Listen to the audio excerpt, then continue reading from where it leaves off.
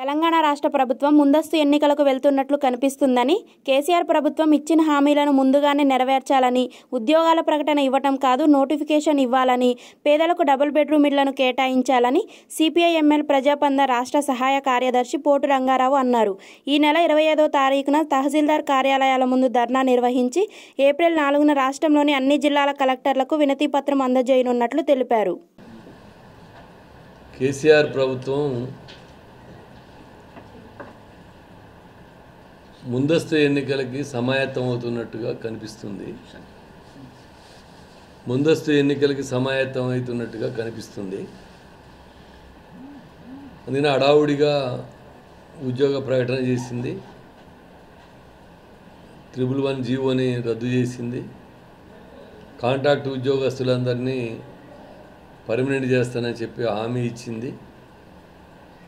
అదేవిధంగా యాభై ఏడేళ్ళు దాటినటువంటి వాళ్ళకి పెన్షన్ ఇస్తానని చెప్పి హామీ ఇచ్చింది. మేము భావించేది ఏమిటంటే కేసీఆర్ ప్రభుత్వాన్ని డిమాండ్ చేసేది ఏంటంటే ఇవన్నీ అమలు చేయాలని చెప్పి మేము డిమాండ్ చేస్తాం.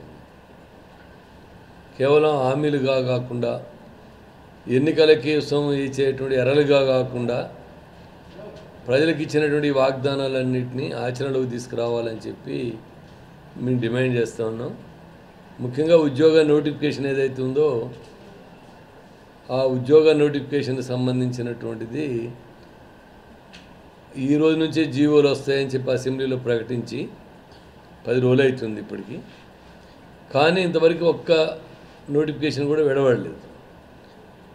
మొత్తం టీఎస్పిఎస్వై చూస్తే ఏమవుతుందంటే ఆరు నెలలు సంవత్సరం పట్టుద్ది అనేటువంటిది వాతావరణం కనిపిస్తుంది. మళ్ళీ ఈ కోచింగ్ సెంటర్లకి డబ్బులు పోగేసే విధానంగా కనిపిస్తుంది తప్ప వెంటనే నోటిఫికేషన్లు ఇచ్చి తక్షణమే భర్తీ చేయడానికి తగిన చర్యలు తీసుకోవట్లేదు అనేటువంటిది స్పష్టంగా కనిపిస్తూ ఉంది. అందుకే వెంటనే నోటిఫికేషన్లు జారీ చేయాలా రిక్రూట్మెంట్లని వేగంగా చేయాలని చెప్పి మేము డిమాండ్ చేస్తాం. రెండోది మొత్తం ఉద్యోగ ఖాళీల మీద కూడా శ్వేతపత్రం ప్రకటించాలని చెప్పి మేము డిమాండ్ చేస్తాం.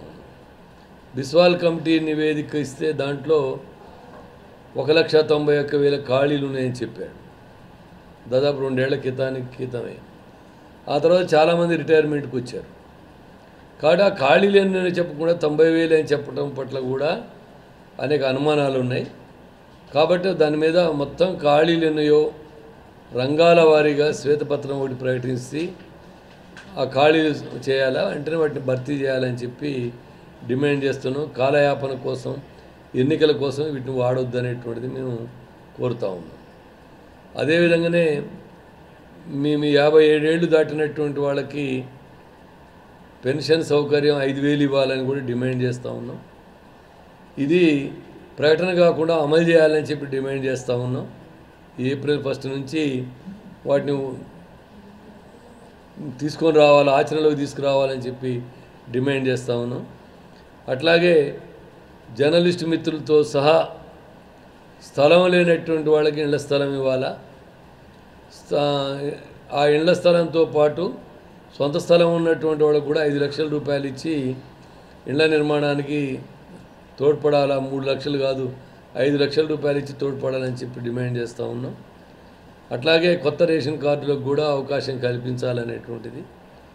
అట్లాగే పోడు భూముల్లో కందకాలు దూసి తీస్తూ ఆదివాసులను వేధించేటువంటి పద్ధతి మానాలని అదేవిధంగా వాటికి పట్టాకులు హక్కులు ఇవ్వాలా చట్టం అమలు చేయాలని చెప్పి డిమాండ్ చేస్తూ ఈ నెల ఇరవై ఐదవ తేదీ నాడు తహసీల్దార్ కార్యాలయాల ముందు పెద్ద ఎత్తున ధర్నా చేయాలని చెప్పి భావిస్తున్నాం. దీని మీద ఇప్పటికే మేము చలో అసెంబ్లీ నిర్వహించాం. చాలా తీవ్ర ఉద్రిక్తితో అది నడిచింది. మండల కార్యాలయాలు అంతకుముందు మెమోరాండాలు ఇచ్చాం. రేపు ఇరవై ఐదో తారీఖు నాడు ధర్నాలు చేస్తాం. నాలుగో తారీఖు నాడు కలెక్టర్ కార్యాలయాల్లో వినతి పత్రాలు ఇచ్చేటువంటి కార్యక్రమం పెట్టుకున్నాం. అదేవిధంగా ఇరవై ఒకటి ఇరవై రెండు తేదీలో గవర్నర్కి వినతి పత్రం ఇవ్వాలనేటువంటిది కూడా ఫిఫ్త్ షెడ్యూల్ అమలు చేయాలా పోడు భూముల దాని మీద అనేది కూడా పెట్టుకుని ఈ కార్యక్రమాన్ని కూడా జయప్రదం చేయాలని చెప్పి కోరుతా ఉన్నాం. అందుకే ఇప్పటికైనా ప్రభుత్వం ఇంతకుముందే చెప్పినట్టుగా ఈ వాగ్దానాల్ని అమలు చేసేటువంటి వాగ్దానాలుగా ఆచరణలోకి తీసుకురావాలా? మాటలు చెప్పి తప్పించుకునేటువంటి వైఖరి కరెక్ట్ కాదు అనేటువంటిది మేము భావిస్తూ ఉన్నాం. ఇంతకుముందు పోయేటువంటి ఇటువంటి వాగ్దానాలు గత అసెంబ్లీ బడ్జెట్ సమావేశాల సందర్భంలో కూడా ఇచ్చారు అమలు చేయలేదు. ఇప్పటికైనా అమలు చేయాలని చెప్పి కోరుతూ ఉన్నాం. కేవలం వైద్య శాఖలో ఉద్యోగాల్లో ఉన్నటువంటి పదకొండు వేల మంది కాంట్రాక్ట్ ఉద్యోగులనే కాకుండా అవుట్ సోర్సింగ్లో ఉన్నటువంటి మొత్తం అందరిని కూడా వాళ్ళు వెట్టిచాకిరి చేస్తూ ఉన్నారు. పార్ట్ టైం కానీ ఇతర అవుట్ సోర్సింగ్ ఉన్నటువంటి వాళ్ళు కానీ ఇతర కాంట్రాక్ట్ ఉద్యోగులు కానీ మొత్తం అన్ని శాఖల్లో ఉన్నటువంటి వాళ్ళని కూడా పర్మినెంట్ చేయాలని చెప్పి డిమాండ్ చేస్తూ ఉన్నాం.